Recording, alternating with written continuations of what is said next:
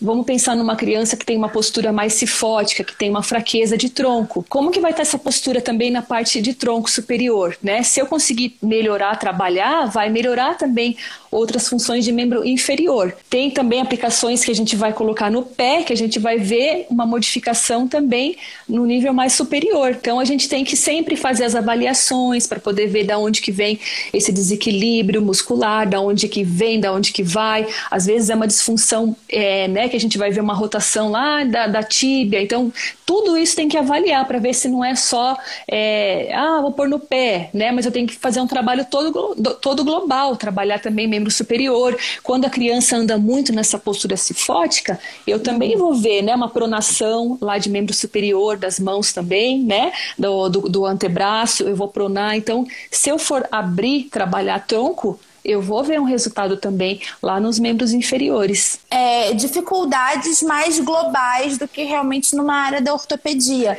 Então a gente uhum. tem que olhar toda essa criança. Da onde que começa esse desequilíbrio, pois né? É. Eu vou fazer uma avaliação global. Eu penso, né, muito no tronco do paciente, primeiramente, eu olho o tronco. Então essa musculatura geralmente ela vai estar tá hipoativa, então vai ter eu vou olhar para os músculos que estão hiperalongados, os músculos que estão mais encurtados, né? E a gente vai vendo que esses desequilíbrios vão fazer o quê? Vão, não vão ajudar com que a criança consiga buscar função, né? Então tá muito é, encurtada a musculatura do pescocinho da criança aqui, que tem muita tensão, né?